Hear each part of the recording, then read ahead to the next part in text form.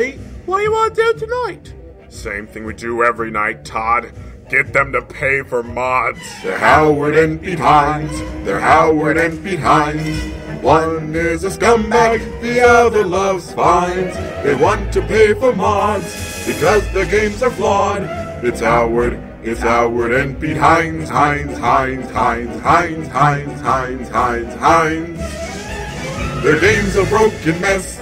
They keep on getting worse. So if I were told to guess, they're gonna need a hearse. They're Howard and Pete Hines. They're Howard and Pete Hines. Ignore the signs and Creation Club shines at 70%. They're taking every cent. It's Howard, it's Howard and Pete Hines, Hines, Hines, Hines, Hines, Hines, Hines, Hines. Pre-order!